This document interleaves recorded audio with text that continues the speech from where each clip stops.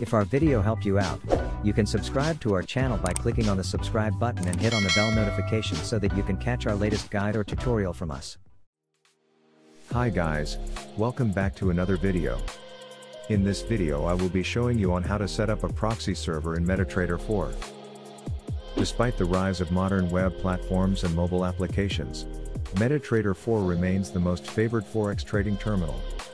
This application is renowned for its straightforward, user-friendly interface, coupled with a comprehensive array of features for both analysis and trading automation. One notable functionality of MetaTrader 4 is the option to integrate a proxy. Using a proxy server for connection can circumvent firewalls or provider restrictions associated with trading with certain brokers. It also helps bypass various traffic filters that can increase latency, a critical factor during active trading sessions. Setting up a proxy server in MetaTrader 4 is a swift process, taking no more than 2 minutes, and it does not necessitate the installation of any third-party plugins, regardless of the broker used. Step-by-step proxy installation in MT4.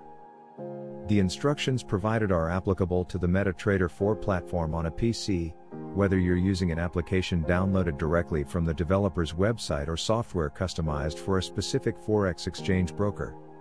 While MetaTrader 4 applications for Windows, Linux, and Mac may exhibit slight differences in tab names, the overall procedure remains consistent. To add a proxy to MT4 1. Open the MetaTrader 4 application. 2.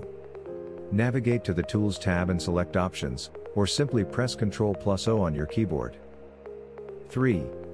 In the Options window, go to the Server tab. Check the Enable Proxy Server box and then click on the Proxy button. 4. In the provided fields, select your proxy type HTTP, SOCKS 4, SOCKS 5 from the drop-down menu and enter the IP address and port, example 24.249.199.4 to 4145.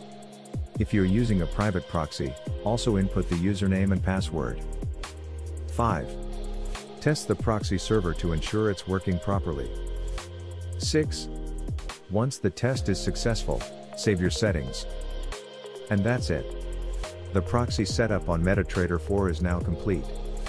For effective MetaTrading, it's recommended to use a private proxy with SOCKS 5 encryption, which can efficiently bypass filters and restrictions. Thanks for watching, if this video helped you out, please like and subscribe for more contents like this.